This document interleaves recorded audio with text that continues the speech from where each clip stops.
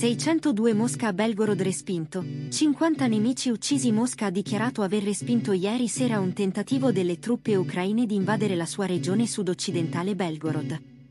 Complessivamente, L ha coinvolto fino a 70 miliziani, 5 carri armati, 4 veicoli blindati, 7 camioncini e un camion Kamaz, ha detto ieri sera il Ministero della Difesa russo, riferendo di almeno tre tentativi di attraversamento.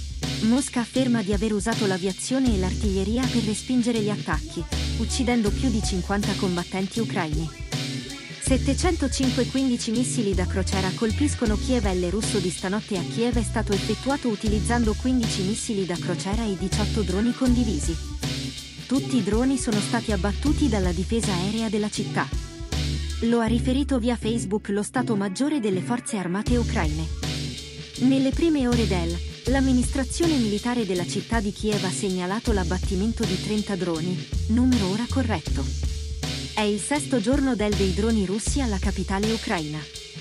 833 Bakhmut 60.000 e più 60.000 russi sono o sono rimasti feriti nella campagna militare di Mosca per conquistare Bakhmut, nell'est dell'Ucraina questa la stima un anonimo funzionario occidentale, secondo cui il totale dei russi in il conflitto ha superato i 200.000.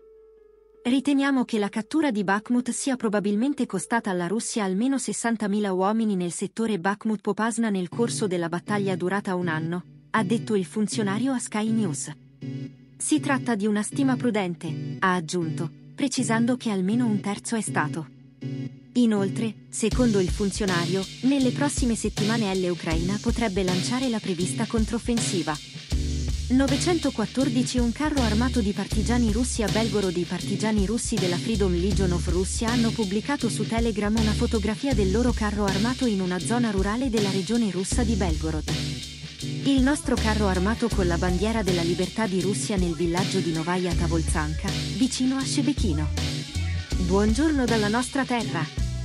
De per la Russia. Legge il messaggio. Mosca aveva annunciato ieri di aver respinto un tentativo di invasione ucraina del suo territorio con carri armati e soldati. Novaya Tavolzanka si trova a est di Belgorod al confine con L Ucraina, a circa 60 km da Kharkiv.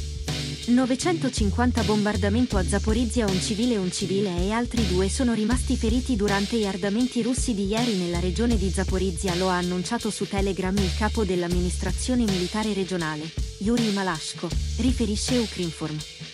1017 Cina rimane alto il rischio di escalation il rischio di escalation della crisi in Ucraina resta alto. Lo ha detto Liu Yi, l'inviato speciale cinese sulla questione ucraina, nel briefing della sua missione di due settimane in Europa, conclusasi a fine maggio per trovare una soluzione politica. Tutte le parti, ha aggiunto il diplomatico, hanno apprezzato il nostro ruolo G.